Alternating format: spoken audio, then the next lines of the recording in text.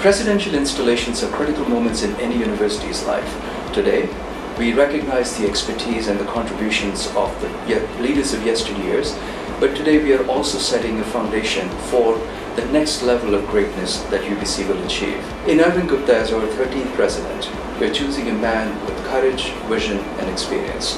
I had the privilege of working with Arvind while we were launching the Canadian UBC Centre of Excellence, and I, I really admired his commitment to excellence and his very fervent belief that universities have this responsibility to improve the lives of people around the globe. So Arvind, Kavita and I wish you a greatest term as the 13th president of UBC and I have a lot of advice for you. So here's the list of advice that I will give you. Uh, Nemy, I don't think we have time for all of that. Oh, okay. Well, then in that case, I'll have to mail this to you, Arvind. Best of luck.